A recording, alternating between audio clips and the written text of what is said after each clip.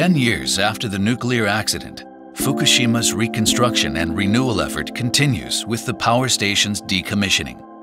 The decommissioning has eliminated the need for protective clothing in 96% of the site. Water needing repurification is stored in about 1,000 tanks. In April 2021, Japan announced its plan the stored water is to be treated with equipment called ALPS to remove radionuclides to meet regulatory standards, with the exception of tritium. The water will then be diluted so that the concentration of tritium is less than 140th of the regulatory standard level and will be discharged into the sea in about two years. Controlled water discharges into the sea are routinely used by operational nuclear power plants in the world. The method Japan has chosen is both technically feasible and in line with international practice.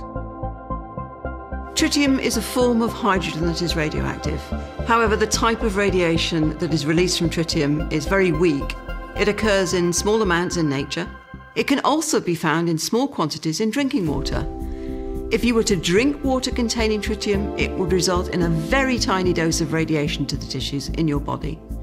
Releasing tritium from the Fukushima site into the ocean means that it will become quickly diluted. It means that the health effects would be negligible, much less than, say, living in a city, drinking alcohol, or being overweight. The U.S. announced that discharging the ALPS treated water into the sea will have no effect on the safety of food imported from Japan or on U.S. domestic food products. We will work closely with Japan before, during, and after the discharge of the water.